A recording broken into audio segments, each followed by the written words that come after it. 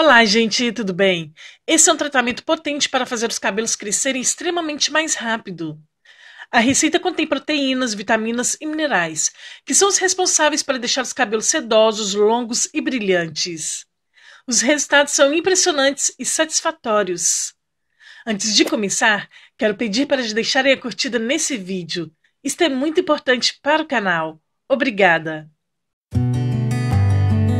Nesta receita, nós vamos precisar de uma cenoura média ralada no ralo mais fino.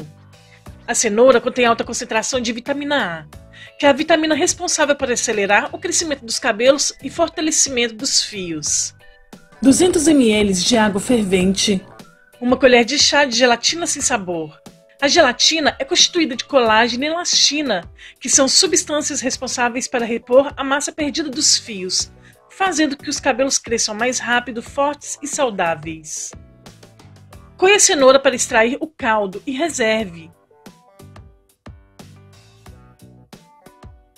Em seguida, misture a gelatina na água fervente e misture bem até dissolver. Feito isto, acrescente o caldo da cenoura e misture bem. Este tônico tem validade de até 5 dias. Lave os cabelos com shampoo de costume. Em seguida, aplique a receita em toda a raiz e fios. Deixe agir por 15 minutos. Em seguida, enxague para retirar todo o excesso do produto. Finalize os cabelos normalmente. Repita este procedimento de duas a três vezes na semana. Se você gostou da dica de hoje, deixe sua opinião nos comentários, deixe seu like e compartilhe esse vídeo com amigos.